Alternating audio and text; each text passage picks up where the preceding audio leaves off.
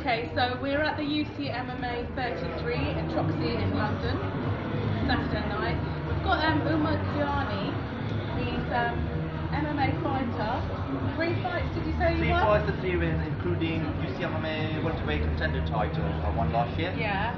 What, what edition was that? Uh, UC it's part of UCMMA basically. You have to win that title to come on the main show, which is here in Troxy. Yeah. So I've been here since last couple of years now. All right, okay.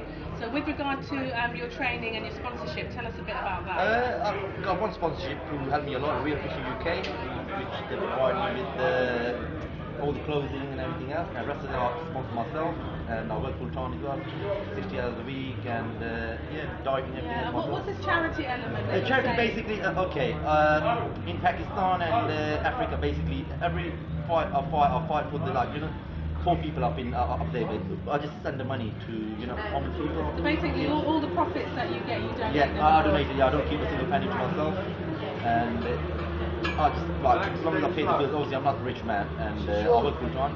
And uh, that's it really. All the money goes. Last six fights so far. Yeah. Okay, so we saw a real bloody fight it was. Best fight of the year. Jordan Wright versus Jermaine the Pain Facy. Best fight of the year so far. Wow. Okay, so he was totally floored. I mean, there was a lot of commotion. Yeah. People getting emotional in the ring. Would, you know, trying to get into cage side Yeah, yeah, it's not be funny because that, that, that looked very Never- serious. That, never I've never seen seen it myself. That was the first time I've seen myself. That was unbelievable knockout. The fight could have went either way, but never seen anything like that myself. Hopefully Jordan Wright is alright, he recovers fully, but that was the vicious knockout. Okay, so we're looking forward to um, Ben Callum now. who's going to be fighting. Uh, Dennis um, Sunderland from uh, Hammond Hampstead. He's from Alright, the Team okay. Crossbase. Yeah. So what do you think is going to happen there? Ben Callum, in my opinion, is the favourite. He's young. He's, he's come to a knockout every fight, but Dennis Sunderland is not. He's been around for years and years. Yeah, for the he's a best. veteran, he's a veteran. he? He fought everybody. Like he fought the best of the best. Personally, if he goes past the first round, I think Dennis Sunderland, my, my opinion, is he's got the capability to win the fight. When's your next fight then? Well, hopefully in India, Super Fight League, I've done a three fight deal with them. If not, I'll be back hopefully on UC MMA 34. It's all up to the boss, Mr. Dave Dunham. And I did ask for one fight. I never asked for a fight. Is uh, Kulji Diga, which is I hate the guy with passion. Yeah, I hate the guy. Yeah, but for many many reasons. And uh, that fight, um, people are gonna come across the country to watch. No doubt in my mind. Okay. So, and I promise you, I will hurt that guy. That's why I want to hurt the guy anyway. And I will finish him first round. That's no doubt in my mind.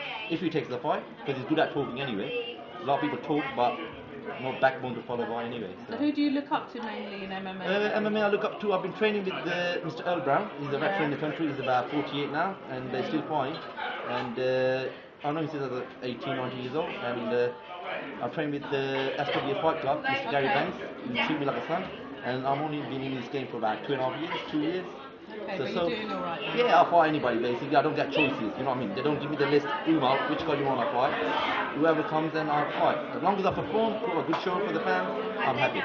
Any messages to the kids? Kids, they just respect to elders, like I said in my interview with Addicted MMA as well. And I work with kids anyway uh, in school. And uh, yeah, I've got some of my own as well. So always respect your elders and stay away from drugs, alcohol, and uh, listen to your mom and dad. And your teachers, like your parents anyway. Okay, good. Thank you very much. And